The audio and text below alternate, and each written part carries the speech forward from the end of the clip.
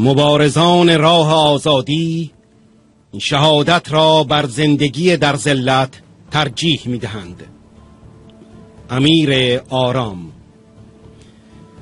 خوشا به سعادت کسانی که خود را برای بقای آزادی دیگران فدا می کنند وای بر ستمکارانی که برای بقای خود دیگران را فدا می کنند درود بر اعتصاب غذا کنندگان در لیبرتی و همه اشرف نشانها در کشورها که پرچم شرف و آزادی یک خلق را به دوش می‌کشند ما در دنیایی زندگی می کنیم که جوامع بین المللی فاقد ارزش های معنوی نظیر شرف انسانی و عدالت اجتماعی می باشند. ما در دنیایی زندگی می کنیم که اخلاق، مرام و هویت انسانی عناصر کمیابی هستند. منافع شخصی و اقتصادی و دولتی جایگزین آرمانهای انسانی برای دولت مردان شده است و هیچ گونه امنیتی در مورد حق و حقوق بشری وجود ندارد. در واقع انسانها بردگان این دولت مردان شدند بدون هیچ حق و حقوق فردی و یا اجتماعی. در واقع می‌توان گفت مایه در بازار این دنیا زر است. مایه آنجا عشق و دو چشم تر است. در بازار دنیا یا واضحتر بگویم در این لجنزار دنیا منافع اقتصادی جایگزین عواطف و آرمان انسانی شده است.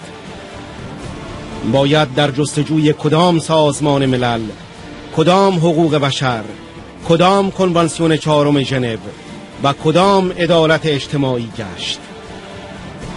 این ارگان ها که مفهومی ندارند نه تنها مفهومی ندارند بلکه یکی از عواملی می باشند که اجازه می دهند کشورهای دیکتاتوری آزادانه به اهداف شیطانی خود دست یابند.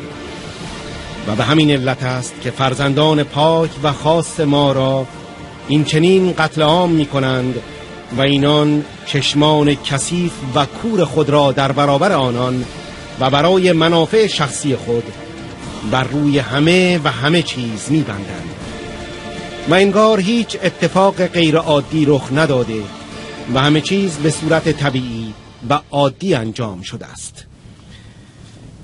ما بمردیم و به کلی کاستیم. بانگ حق آمد همه برخواستیم شرافت انسانی سالیان سال است که توسط این اهریمنان به غنیمت و به تاراج برده شده است. خیانت به شرف انسانی خیانت به قول و وفاداری خیانت و جنایت به انسان و انسانیت مانند لجنزاری جهان را پوشانده است.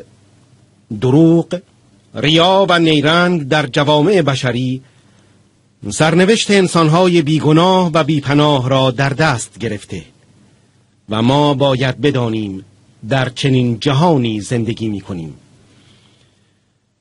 حالان که هنوز فرزندان پاک و با شرفی در این جهان وجود دارند که در واقع اعتبار این جهان هستند و هیچ کس به جز مقاومت عادلانه و فرزندان پاک و خالص همچون مجاهدین خلق ایران فرزندان وارسته و پاک مردم ایران وجود ندارد که بتوانند در برابر رژیم اهریمنی آخوندی بیستد و مبارزه کند. همانا هنوز انسانهایی هستند که شرافت انسانی را حفظ کردند و کتاب حق و حقانیت را بر لوحه تاریخ بشریت نوشته و امروز ما شاهد آن هستیم و آن را ورق می‌زنیم و می‌خوانیم. آنان کسانی هستند که با فنای خود بقا را تقدیم به بشریت کردند. آنان کسانی هستند که خود را می سوزانند تا روشنایی را به بشریت هدیه کنند. آنان کسانی هستند که با مبارزه بیوقفه خود آزادی را برای ایران و جهان به خواهند آورد. خوشا به سعادتشان زیرا آنان اعتبار و وارث زمینند. قابل توجه این است که کسانی که افکار انقلابی و مبارزاتی دارند چطور ممکن است با اوی سگان و یا زوزه گرگان به راحتی صحنه نبرد را ترک گویند. چرا که اینان نه مبارزه را می‌شناسند نه معنای فدا را می‌دانند و نه مفهوم آزادی را حس می کنند و به همین دلیل است که فرار را برقرار ترجیح می دهند وای بر این دشمنان. بدا به حالشان که در زندگی پریشان و سرگردان به دور خود عمری را چرخ زدند و چیزی را حس نکردند که مبارزه بر علیه جهل و جنون چه بوده و چه هست. خوشا به سعادت ما که همانند زنجیری پولادین به هم پیوسته ایم و جدا ناپذیر. ما تا پایان عمر ننگین این رژیم خوناشام به هم گره خورده ایم و تا آخرین نفس کنار هم خواهیم بود. زیرا به شرافت انسانی تعهد داده و به آزادی قسم خورده ایم. خوشا به حال ما که رودخانه شرف و آزادی در دل و جانمان همیشه جاری خواهد بود و هرگز خشک نخواهد گشت. زیرا این رودخانه به سوی دریای آزادی به سوی عشق به ملتی دردمند و به سوی آرمان و اتحاد جهانی جاری می باشد خوشا به سعادت من و تو.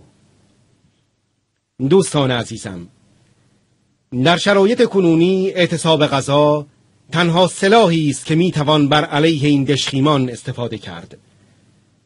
برای رسیدن به آزادی باید بهایی سنگین پرداخت و ما تا به آخر این بها را خواهیم پرداخت و همچنان که تا کنون پرداخته ایم بالاتر از این را هم خواهیم پرداخت.